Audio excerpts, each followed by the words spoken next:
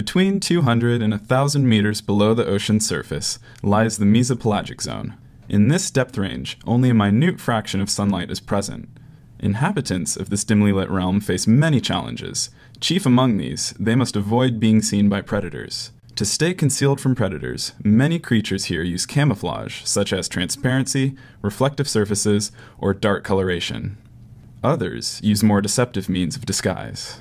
One such deception is visual mimicry. This method of protection is commonly observed in the insect world. In mimicry systems, there are three participants the model, the mimic, and the dupe.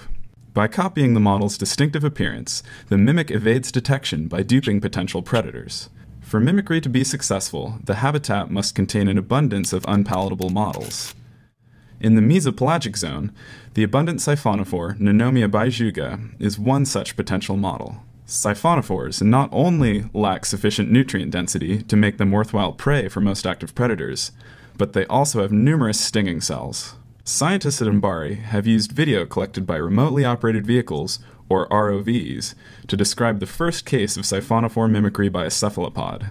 Chiroteuthis calyx, a common, solitary squid inhabiting the temperate waters of the North Pacific, is an ambush predator. They hover, motionless in the water column, and use bioluminescent lures on their tentacle tips to attract crustaceans or small fish, like other mesopelagic squids, juvenile and subadult Chiroteuthis use a diversity of body patterns consisting of postures, colors, bioluminescence, and locomotion to help them communicate, capture prey, and evade predation.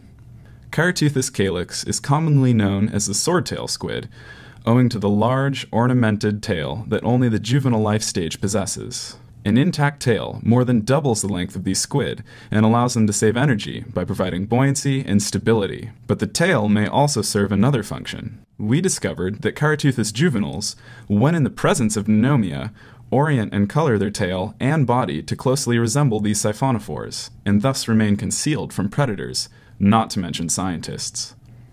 However, this mimicry is not consistent across life stages. As juveniles progress into the subadult life stage, they lose their tail, and also the ability to resemble Nanomia. When observed by ROV cameras, subadults did not demonstrate behaviors mimicking Nanomia. It is likely that the smaller and more vulnerable juvenile Chiroteuthis avoid predation as a result of mimicking Nanomia's appearance and behavior. In this case, the model was the siphonophore Nanomia, the mimic was the squid Chiroteuthis, and the dupe was would be predators, and us.